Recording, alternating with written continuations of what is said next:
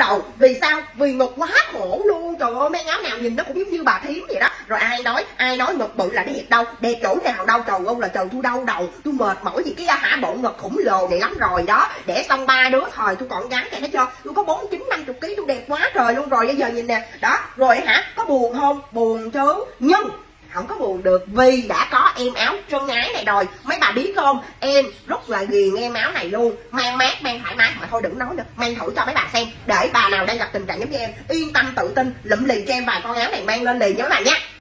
Tê tên nè he, đó mấy bà thấy chưa? Em mang lên một cái ta nó hả? Gọn gàng liền luôn, thoải mái, tha hồ vận động. Mà không sợ cái ngực mình nó cà tưng cà tưng cà tưng. Ngực của mình mình vận động nhiều, mà mình mang những cái con áo lỏng lẻo quá, nó không có đủ độ ôm gọn ngực cho mình. Thì sau một thời gian dài thì sẽ làm cho ngực của mình bị xóa bà? Càng cãi tệ xuống. Đó, mình phải cần có một cái con áo ha, mang cho nó gọn lại, nó ôm gọn lại. Đặc biệt là mặt là thường bị gì bị mở nách nè, bị mở lưng nè. Lên con áo này, hết thấy mở nách, hết thấy mở lưng luôn. Đây nha, em là 75 kg em đang mang size 42 chúa tể của những bà ta nói hả, dòng một siêu khủng. Không có ai nhớ tôi là trần sinh phúc hết trơn á cứ nhớ tôi là cái bà gì mà có à, à tập ú quá trời bự đó đó ở đây nói tôi vậy không tôi là trần xuân phúc nha. Mà cái thấy không em mang lên là rất là gọn gàng luôn. Thậm chí mẫu này em có thể là à, chạy bộ nè tập gym nè tập aerobic đồ cũng yên tâm là nó không bị sạch sệ cái ngực của mình. Nhưng mà sao mấy chị ơi mát lắm mà tại sao mát là tại vì nó thiết kế bằng xu nha mấy chị nha. Chất xu nè ha, ở trong là có lỗ thông hơi thoáng khí, hoàn toàn không có gọng, không có mút. Nhưng mà là thấy không? Cái độ định hình và ôm gọn của nó phải nó rất gọn luôn. Nhìn ngang còn có độ nâng nữa. Và cho chị em nào có ngực ngực bị sợ, bự, bị sợi ha, thì em này dường như là chân ngái luôn. Chân ngái của cuộc đời và phúc nha bà nha. Phía bản là sẽ thiết kế bằng xu chất xu rất là mát lạnh khi mình mang lên. Mình không có cảm giác là ngứa nè, hay là bị bó quá nè, hay bị khó chịu, hay là bị hầm, bị bí.